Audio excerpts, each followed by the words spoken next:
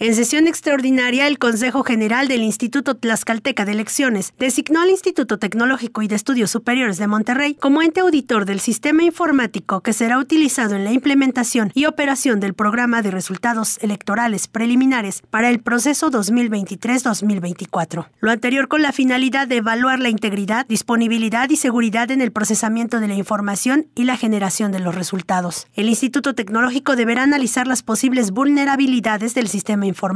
Para ello deberán considerar pruebas de penetración y revisar las configuraciones a la infraestructura tecnológica. Además, ejecutará una auditoría sobre todos los módulos del sistema informático previo al inicio de los simulacros. Deberá presentar informes de la auditoría considerando los modelos de informes parciales, informe final e informe de evaluación de la operación. Élite puntualizó que el Instituto Tecnológico y de Estudios Superiores de Monterrey cumplió con todos los requisitos establecidos en el reglamento y cuenta con experiencia en auditoría en materia PREP en otros procesos electorales. En esta misma sesión, el Consejo General aprobó por unanimidad un ajuste para ampliar el plazo que tiene el ITE para realizar la verificación del apoyo ciudadano a las personas aspirantes a las candidaturas independientes del proceso electoral local ordinario 2023-2024.